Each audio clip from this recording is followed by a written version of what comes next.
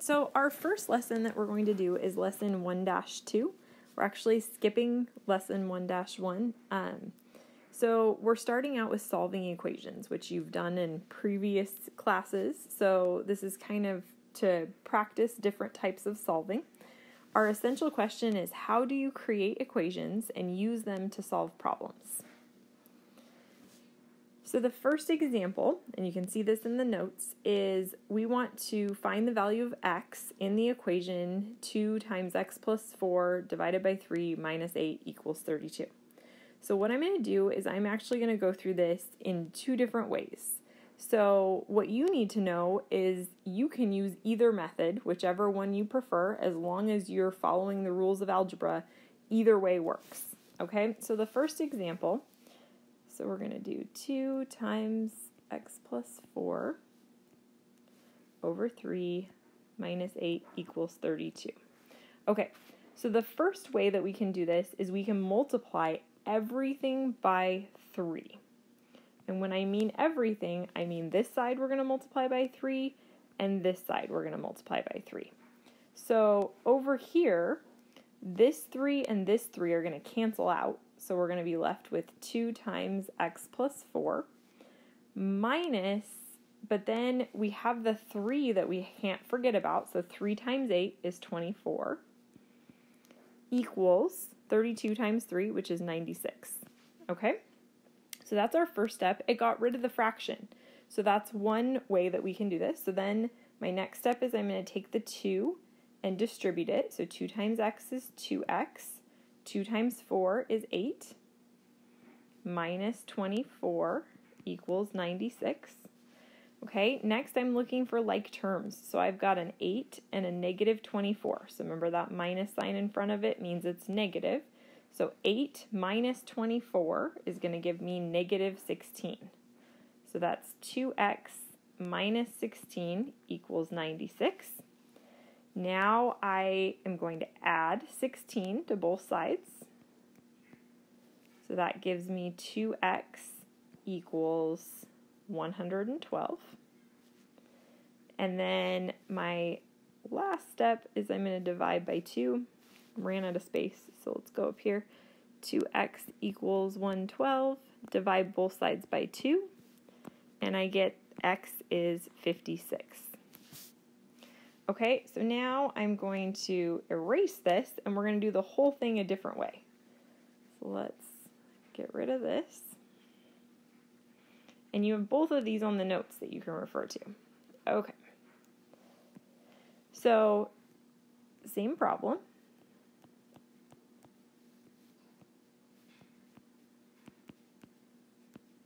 But this time, we're not going to multiply by 3 first. The the first step here, we're going to get rid of that minus 8. So we're going to do the opposite, which is plus 8. So now I have 2 times x plus 4 over 3 equals, those are going to cancel out, equals 40. Now that I got rid of the 8, now I'm going to get rid of the divided by 3. So we know opposite of divided by 3 is times 3. So we're going to multiply both sides by 3. So that cancels those. So I have 2 times x plus 4 equals 120. Now we're going to divide by that 2 out front, or we could distribute either way.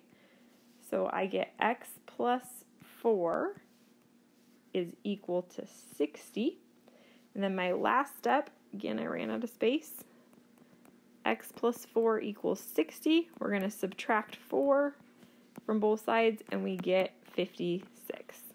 So you'll see both ways we got 56. You can use either method when you are solving. Okay, here's the next one. Example 2 says the sum of three consecutive integers is 132. What are the three integers? So remember an integer, just to review that, is a positive or negative whole number. So 3 is an integer, so is negative 4. But 2.5 is not an integer. Okay, so consecutive means in a row. So, like 1, 2, 3 are consecutive. So, I'm going to say that x is my first number. And so then we have to think what would be my next number. So my second number would be whatever number x is plus 1. That's going to be my second number. And then whatever my third number is, it's going to be my original number plus 2 would be my third number. So if you're talking about like even numbers, that means it would have to be like 2x or 2x plus 1 to make it odd or something like that. So now I want to take my three integers that I have over here, x, x plus 1, and x plus 2, and I want to take the sum of them. So remember, sum means we're adding. So x plus x plus 1 plus x plus 2, and all of those together equal 132. Okay, so now over here we have parentheses but we can combine like terms. I have 1, 2, 3 x's. So I can write that as 3x. And then I have 1 plus 2, so that'd be 3x plus 3 equals 132. So now I have a two-step problem. I want to subtract the 3 from both sides. And we get 3x equals, that would be 129. Then we're going to divide both sides by 3. And we get 43.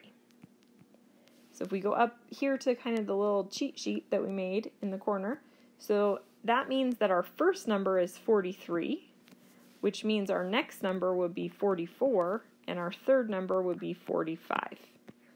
And so it's always good to go back and check, add up 43 plus 44 plus 45, and make sure they equal 132. Okay, moving on. So this is on our notes page, this is example three, but um, in the book, this is example four. So I just want to show you where that came from. So it says, Four friends use an online code to get discounts on concert tickets. They spent $312 for the four tickets. What was the price of one ticket without the discount? So we have to figure out how we set this up. So if you look over here at the table, it says that the discount was $15. Okay? And so each ticket had a discount of 14 or $15 before we found the total. So we could say if we say P is the price of the ticket minus the 15 so that would be the price of one ticket, but we have four of them. So we're going to take that value and we're going to put a 4 out front because there's four tickets that were discounted at that $15. So then the total came to 312. So then we would just solve this. Okay, we could do it two ways. First, you could either start out by dividing by the 4 to get rid of the 4, or I think more often than not, I distribute. So I do 4 times P minus 60 equals 312. So then I would add 60 to both sides. So then those would cancel. I get 4p equals, and then this would be 372. And then I would divide both sides by 4, and I get the price of the ticket was $93. So if you look at the notes page, I did a little bit differently. I divided by that 4 first. So those are two different ways to solve the same problem and get the same answer. Okay, and here's our last example. So this is a work and time problem. So if you see in the notes, I want you to think of the fact that distance equals rate times time. So that means that time is equal to, if we are solving for t, we divide both sides by r, so by the rate. So we're going to use that idea with this problem. So it says Latanya will walk her bike from her house to the bike shop, which is one and a half miles from her house, to get the bike fixed. She expects to wait 30 minutes for the repair. Then she will ride her bike home. Can she be home in one hour? So we're trying to solve for time, okay? So we're going to set this up for time walking plus time at the shop plus time biking will equal the total time. Okay, so again, if we think up here, time is distance divided by the rate. So the rate would be like the miles per hour. So if we start with walking, it says that she she's going to walk her bike from her house to the bike shop, which is one and a half miles from her house. So our distance is 1.5,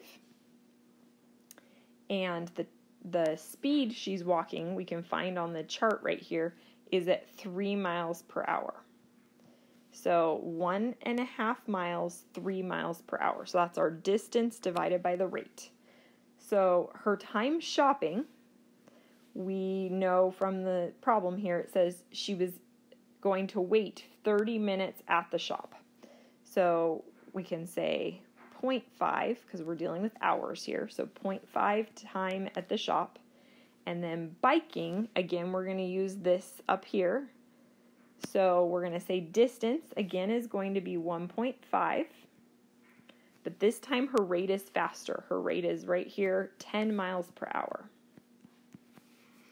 And that's going to equal our total t. Sometimes your variable variable might be over in the left side and sometimes it's going to be on the right side. So then what we're going to do is we're going to take all these and type them into our calculator. 1.5 divided by 3. So if we get our calculator,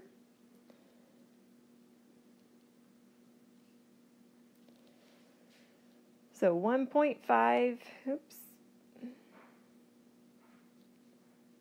1.5 divided by 3 is 0.5 plus 0.5 plus 1.5 divided by 10 is 0.15. So then if we add all those together, we get 1.15 is equal to time. So if we think about this, this is 1.15 hours.